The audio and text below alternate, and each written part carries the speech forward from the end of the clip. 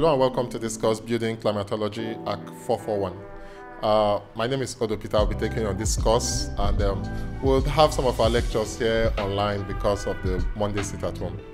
This course, Building Climatology, is about buildings' interaction with their surrounding climate. Before our first class, I want to start off with a very small, quick exercise.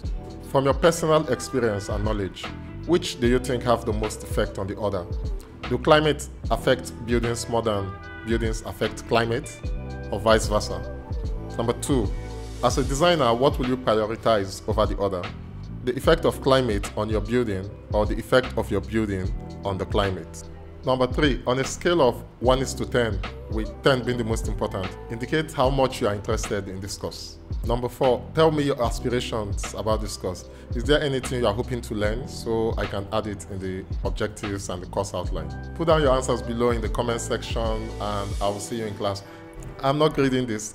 Yes! Yes! I'm just using it to assess your readiness for the course, or upgrade I will do to my course content.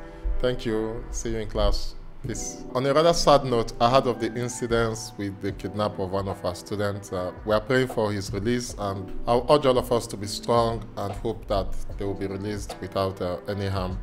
We also pray that we have a good government. So if you don't have your voter's card, go and get it, and let's vote and hope for a better country. So see you in class.